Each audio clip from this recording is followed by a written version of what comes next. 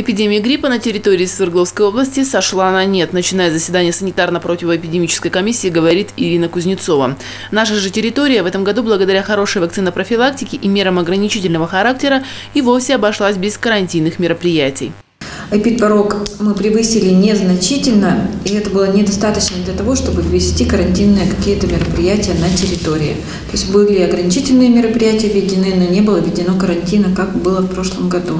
Елена Малкова, представитель Роспотребнадзора, также оценивает ситуацию по заболеваемости ОРВИ и гриппом в Полевском городском округе как благоприятную. Число обратившихся за медицинской помощью за прошлую неделю сократилось в два раза относительно предыдущего периода.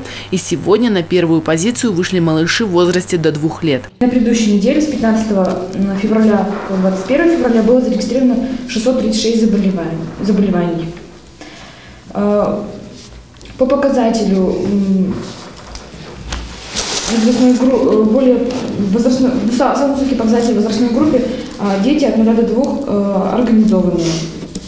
Заболело их 14 детей, а, показатель 4895, один остаточное населения.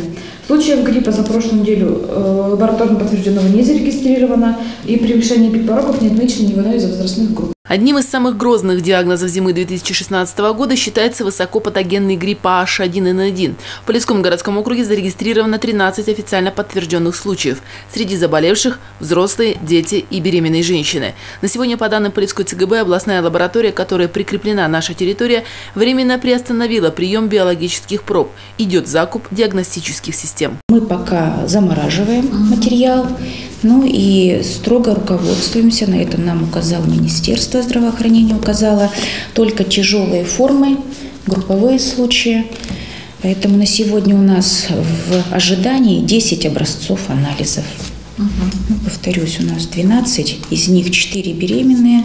Мы в прошлый раз как бы имели на себя взять ответственность и отправили средне-тяжелую форму беременных с подтверждением гриппа AH1N1 трое детей – из этих положительных результатов.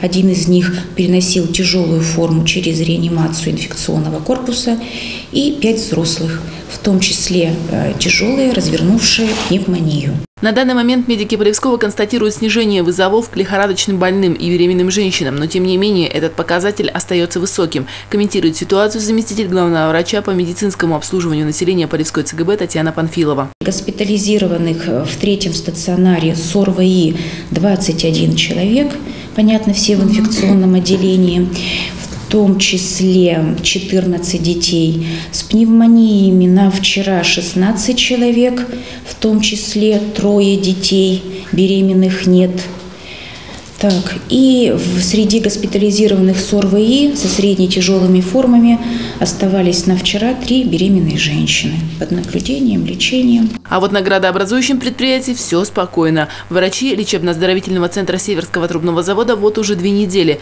как работают в обычном плановом режиме. По количеству респираторных инфекций э, абсолютно такие же цифры, как они в течение года. Угу. То есть и та неделя, и эта неделя идет в обычном режиме.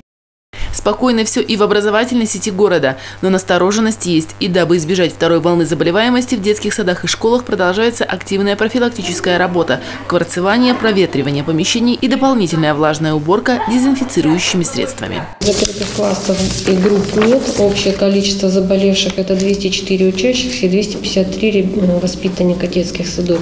На сегодня мы приняли такое решение, что комплекс профилактических мероприятий мы не прекращаем. В рамках стабилизации обстановки по заболеваемости гриппом и ОРВИ в проведение массовых праздничных мероприятий всем участникам торжеств рекомендуют в качестве неотъемлемой части гардероба носить и защитную маску. Ксения Балзенкова, Константин Миронов. Новости. Твой день.